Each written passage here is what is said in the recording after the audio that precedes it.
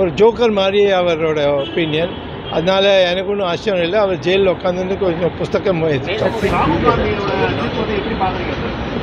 Sir? இது வந்து ஒன்றும் புதுசாக அவருக்கா இல்லை. Meenakshi College of Engineering, KK Nagar, Chennai. Admissions open for BE, BTech, BArch, ME, MCA, MBA and MArch. எட்டு கேஸில் இப்போ வந்து தோற்று போயிருக்கார். எல்லாத்துலேயும் வந்து அப்பீல் அப்பீல் சுப்ரீம் கோர்ட் போகிறோம் இது இல்லை ஆனால் உண்மை என்னன்னா இவர் வந்து காங்கிரஸ் பார்ட்டியோட பிரதமர் வேட்பாளர்னு எல்லாம் சொல்கிறார்கள் பொருளாதார கொள்கை என்ன இருக்கணும்?